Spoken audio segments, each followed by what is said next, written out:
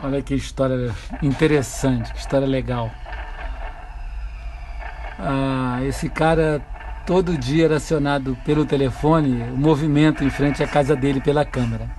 Ele ficou meio irritado com aquilo, todo dia no mesmo horário, mais ou menos.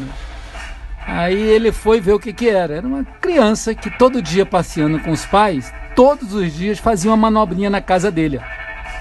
E com isso acionava a câmera. Aí ele falou, pô, vou ter que dar um jeito nisso, né? Eu vou ter que dar um jeito nessa situação, afinal, todo dia, mesma criança.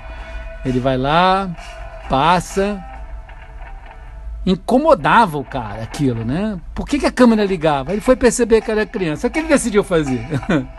ele decidiu fazer uma pista para a criança poder se divertir. No outro dia, quando a criança chegou, ela ficou meio sem saber o que fazer. Porque ela viu aquela pintura no chão, aí ficou olhando. Aí a mãe explicou, filho, é, um, é uma pistazinha para você brincar.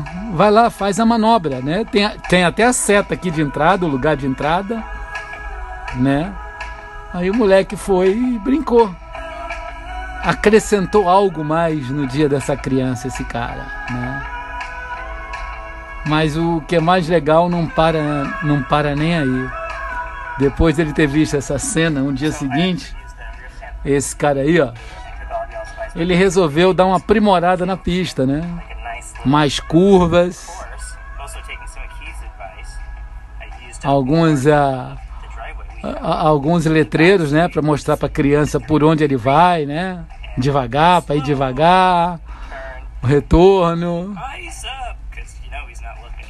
né? Aí o para surpresa dele, para surpresa dele, é claro, né? A criança imediatamente já pegou. Mas muito mais do que a criança, outras crianças se aproveitaram também da situação. Né? o garoto agradeceu, né? Viu que era na viu que era ali do, a, o cara que fez e outras crianças começaram a vir.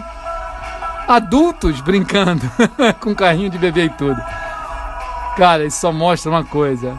Ainda há esperança, ainda há seres humanos que ainda pensam nos outros, né?